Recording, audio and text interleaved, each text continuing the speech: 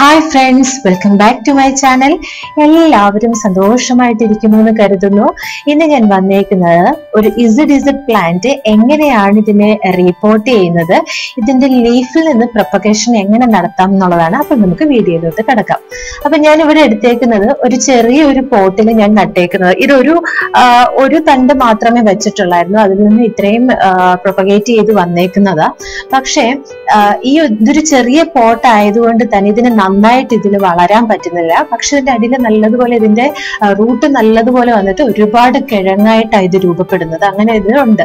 അപ്പം കുറെ നാളായി ഇത് ഞാൻ ഇങ്ങനെ വെച്ചിട്ട്. അപ്പൊ ഞാൻ ചെയ്യുന്നത് ഇതിൽ നിന്ന് ലീഫ് വഴി ഒരെണ്ണം ഞാൻ പരീക്ഷണാടിസ്ഥാനത്തിൽ ഒന്ന് പ്രൊപ്പഗേറ്റ് ചെയ്യാൻ വേണ്ടി വെച്ചിട്ടുണ്ടായിരുന്നു. ആ, ലീഫ് ആയത് അതിൽ നിന്ന് ഇപ്പൊ റൂട്ടൊക്കെ വന്നിട്ട് ഒരു ചെറിയൊരു കിഴങ്ങ് മാത്രം വന്നിട്ടുമുണ്ട്. അപ്പം ഇതൊരു പ്ലാന്റ് ആയിട്ട് പിന്നീട് മാറും. അതുകൊണ്ട് അപ്പൊ ഞാൻ ഈ സിംഗിൾ ലീഫ് എങ്ങനെയാണ് വെച്ചതെന്ന് ഞാൻ ഇതിനകത്ത് കാണിക്കുന്നുണ്ട്.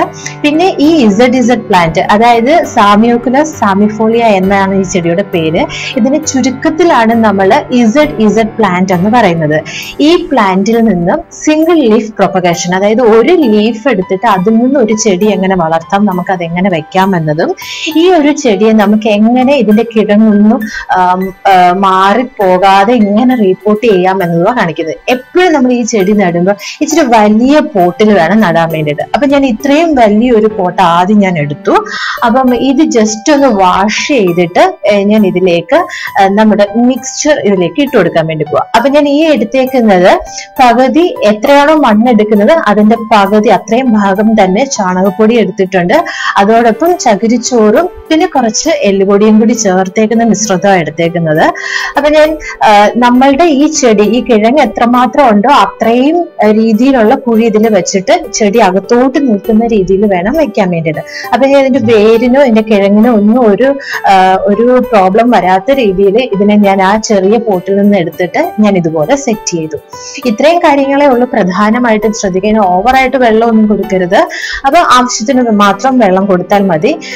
ഇടയ്ക്കിടയ്ക്ക് നമ്മൾ ഇതിന് നല്ലതുപോലെ വളമൊക്കെ ഇട്ട് കൊടുക്കണം. അപ്പൊ ഫെർട്ടിലൈസർ ഒക്കെ ഇടയ്ക്ക് ഇട്ട് കൊടുക്കാം. ഇടയ്ക്കിടയ്ക്ക് മുട്ടത്തോടൊക്കെ നമുക്ക് ഇട്ട് കൊടുക്കാം. അപ്പൊ ജസ്റ്റ് ഒന്ന് ബബിൾസ് വെച്ചൊന്ന് അറേഞ്ച് ചെയ്ത് ചുറ്റുമൊന്ന് ഇനി ഞാൻ ഇതിൽ നിന്ന് കാണിക്കാൻ വേണ്ടിയിട്ട് പോകുന്നത് ഇങ്ങനെ സിംഗിൾ ലീഫ് പ്രൊപ്പഗേഷൻ എങ്ങനെയാണെന്നുള്ളത്. അപ്പം നമുക്കിത് നമുക്കിതിനെ തണ്ടോടുകൂടി മുറിച്ചിട്ട് വെള്ളത്തിൽ വെച്ചിട്ട് വേണമെങ്കിൽ പ്രൊപ്പഗേറ്റ് ചെയ്തെടുക്കാൻ പറ്റും. അപ്പൊ ഞാൻ ഇതിൽ നിന്ന് ലീഫ് ഇങ്ങനെ കട്ട് ചെയ്തെടുക്കുന്നത്. അപ്പൊ കട്ട് ചെയ്തെടുക്കുന്ന സമയത്ത് ആ ലീഫിന്റെ ആ അറ്റത്ത് ചെറിയൊരു തണ്ടോടുകൂടി വേണം നമ്മൾ എടുക്കാൻ വേണ്ടിയിട്ട്. അല്ലാതെ ലീഫ് മാത്രമായിട്ട് ഒടിച്ചെടുക്കരുത്. എന്നിട്ട് വെറുതെ ഇങ്ങനെ ഒന്ന് കുഴിച്ചു വെച്ചാൽ മതി. കുഴിച്ചു വെച്ചു കഴിഞ്ഞാൽ ഒരു മാസത്തിനുള്ളിൽ തന്നെ ഈ ഒരു രൂപത്തിൽ ഇത് വളർന്നു കിട്ടും. ഇതിന്റെ വേരോടുകൂടി വേരും വന്ന് ഇതിനകത്തൊരു കിഴങ്ങോടുകൂടിയുള്ള രീതിയിലാണ് ഇത് വളർന്ന് കിട്ടുന്നത്. അപ്പൊ നമുക്ക് ഈ രീതിയിൽ ഒരൊറ്റ ലീഫിൽ നിന്ന് തന്നെ നമുക്ക് ഈ ചെടിയെ വളർത്തിയെടുക്കാനായിട്ട് പറ്റും. അത് ഇപ്പൊ ഞാൻ ഇത് പ്രൊപ്പഗേറ്റ് ചെയ്തതിന് ശേഷം ഇത് ഞാനൊരു രണ്ട് മാസത്തിന് ശേഷമുള്ള ഇതിനകത്ത് പുതിയ വലിയൊരു ലീഫ് വന്നു.